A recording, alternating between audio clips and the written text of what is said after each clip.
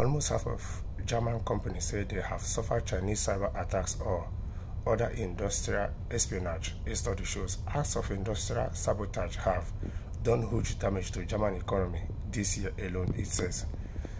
80% of German businesses reported being hit by data or IT theft, industrial espionage, or sabotage in the last 12 months, with 45% of the companies tracing cyber attacks or, the, or other acts of industrial spying to China.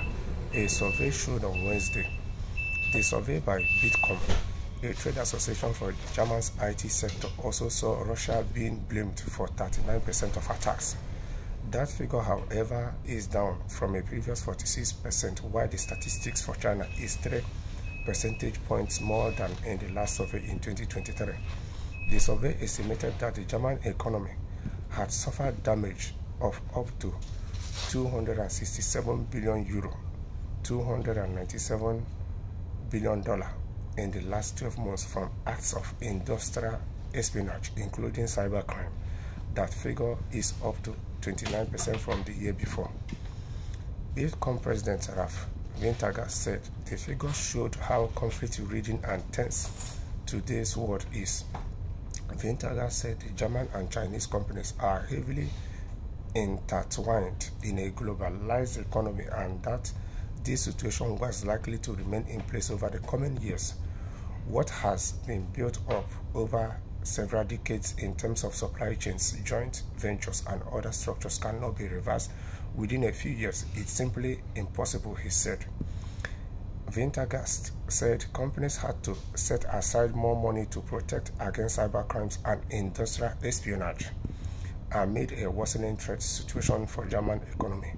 Companies Bund said they had raised average amount allocated to digital security in their IT budgets to 17% compared with 14% last year, but just over a third said they had emergency plans in place in case of security incidents in their supply chain. China remains a vital economic partner for Germany, but is also recognized as a rival. Among other things, there was considerable concentration in industrial circles in recent months after it was revealed that Chinese hackers spied on German auto giant Volkswagen for years.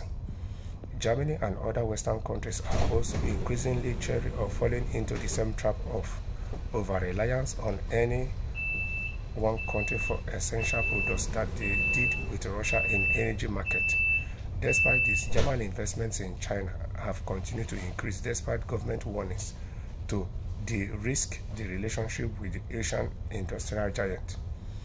So most companies are doing whatever it takes in Germany to be able to save themselves from this kind of cyber attacks or industrial espionage.